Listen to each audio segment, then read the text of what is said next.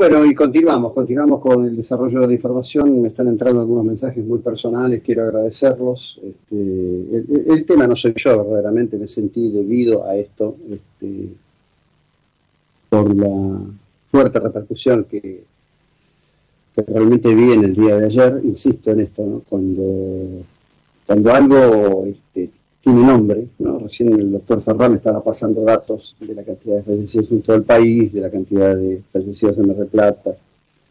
Cuando algo tiene nombre, cuando tiene cuerpo, cuando tiene una sonrisa, o tiene un enojo, o tiene una furia, o tiene un odio, este, se transforma en, algo este, completamente diferente a lo que puede ser o lo que es este, la, la, cita numérica, que no es solamente una cuestión de formación profesional, esto nos pasa absolutamente a, todos, a todos de, cualquier manera que sea que en definitiva este, eh, vivamos o seamos capaces de vivir este tipo de, situaciones. ¿no?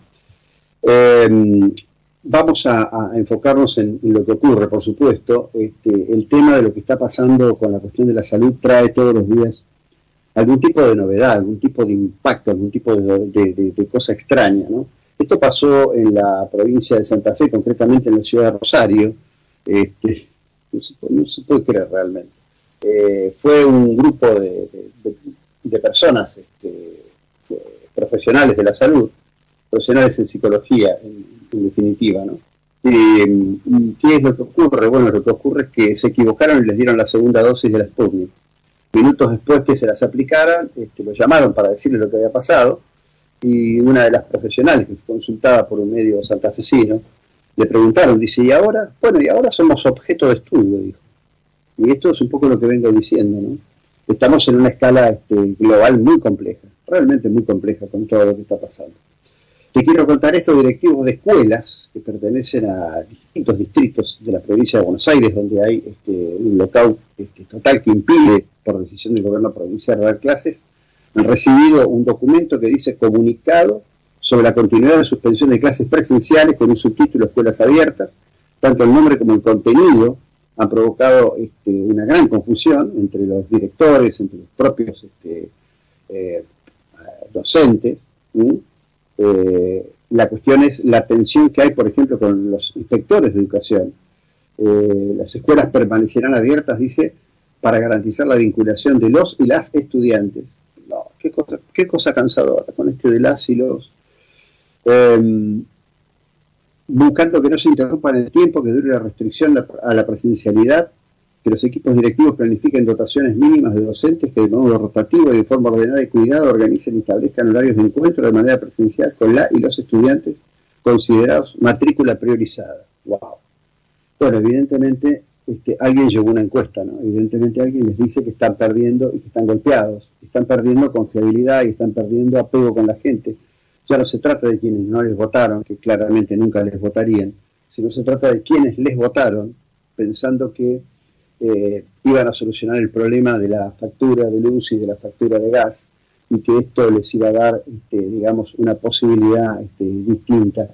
Como bien trascendió en una conversación que mantuvieron hace unos días este, tanto el ministro Guzmán como el gobernador de la provincia de Buenos Aires, Kicillof le explicaba a Guzmán las bondades que tenía la política de retrasar tarifas, porque Kicillof dice, cuanto menos pagan de tarifas, más plata tienen en el bolsillo.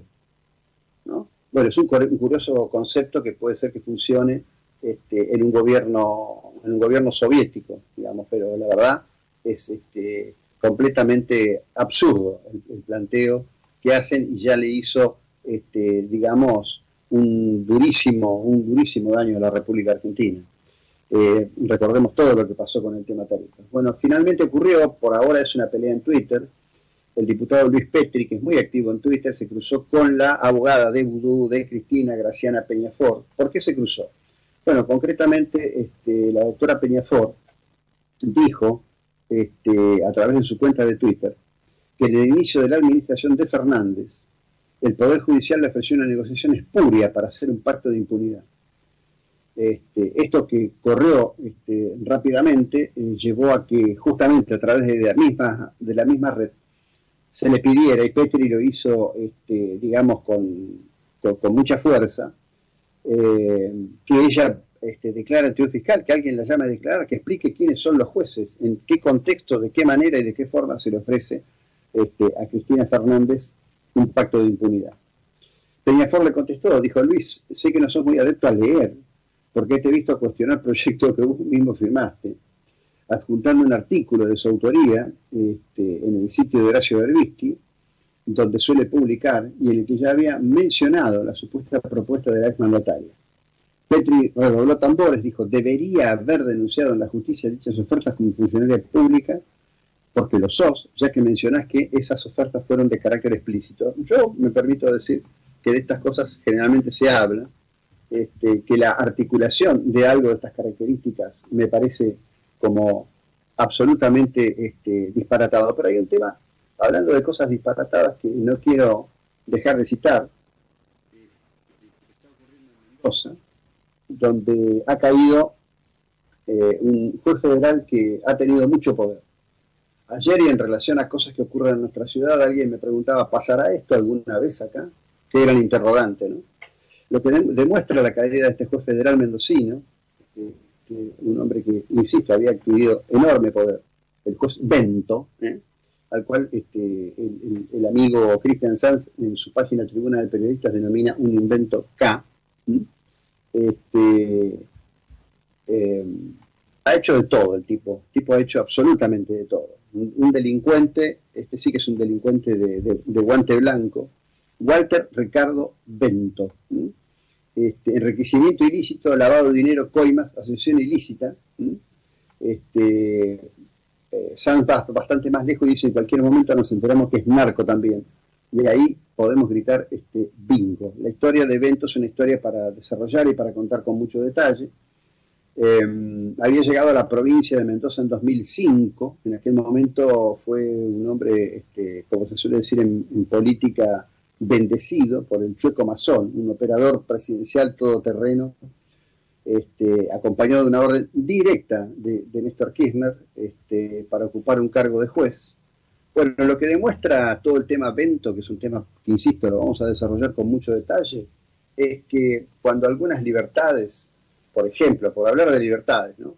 a los del común nos llaman la atención, este, lo que hay que pensar es que siempre hay cuestiones de peso. Y acá este, queda este, absolutamente claro.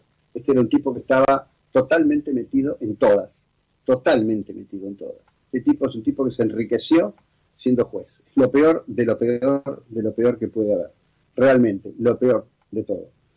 Em, bueno, va avanzando este tema Ustedes saben que se desató este, en este universo controversial, donde los políticos corren este, como pollos sin cabeza de un lado para el otro, el tema eh, que planteó Joe Biden de liberar las patentes de las vacunas, ¿eh? como una medida excepcional, lo pidió en este caso Biden, se opone Angela Merkel, este, que ha planteado que no está de acuerdo, pero aparece como, como casi cada jornada una, este, una nueva situación. Hay una vacuna eh, de un laboratorio alemán, CureVac se llama.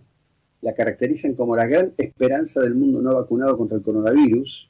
Esperan que la vacuna este, que se basa en la tecnología de ARN compita con Moderna y con Pfizer BioNTech. Dicen que podría estar lista este, la semana que viene. Y el, el, hombre que se ha divorciado sin escándalo, este, Bill Gates, eh, divorciado de Melinda, eh, dijo, yo no sé la verdad qué, qué, valor puede tener lo que diga Kate, pero en fin, le dan mucha prensa, eh, que esta situación pandémica va a tender a retrotraer y según él a desaparecer sobre finales de 2022. Este, bueno, ¿por qué está este tema este, de la esperanza respecto de la CureVac? Bueno, porque eh, esta vacuna, esta vacuna de esta pequeña empresa alemana, eh, que va a anunciar sus resultados de ensayo clínico de última fase, si se determina que es segura y se determina que es este, eficaz, tiene una enorme ventaja. No requiere, no requiere de mantenerse estable a una determinada temperatura de frío. Esto implica que podría llegar con mayor facilidad a aquellas regiones este, del, del planeta en donde hoy justamente todo esto es una, enorme cuestión, este, la, la, falta de infraestructura. Hay lugares donde aunque estuviese la vacuna disponible, en el caso de la de Pfizer o la de Moderna, no se podrían directamente llevar porque no hay estructura para llevarlas, no hay estructura de frío para llevarlas, como pasa también en muchos puntos de la República Argentina, cosa que ya hemos citado en más de una oportunidad. Bien, esta es la 999-564-0696, esperamos tu contacto a través de WhatsApp. Estamos desarrollando nuestro trabajo en esta jornada de este día 7 de mayo de 2021.